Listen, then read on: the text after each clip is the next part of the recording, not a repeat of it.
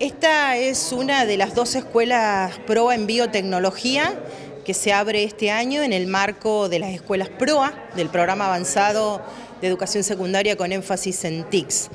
Es una escuela como, como las otras 14 que se abrieron de PROA, que tiene una jornada de 8 horas y media reloj por día, que además de los espacios específicos, de la, perdón, de los espacios de formación general, como tiene cualquier escuela, matemática, lenguas, sociales, naturales, tiene un trayecto de formación especializada.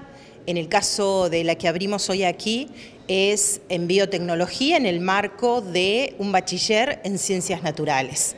Tienen clubes que hacen énfasis en la programación eh, con una particularidad en este caso también en las tecnologías y en la robótica, eh, y a los espacios de educación artística y educación física le suma un formato de clubes. ¿Cómo se da esta articulación con la universidad para llevar adelante esta experiencia?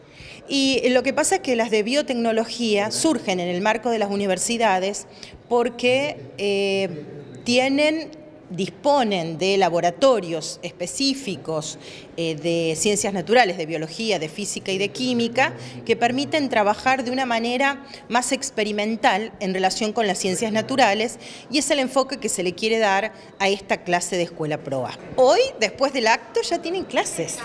Ellos han comenzado unos días eh, más tarde que el resto de las escuelas, pero en general por el modelo de selección docente, siempre las pruebas comienzan unos días más tarde, el primer año que inician.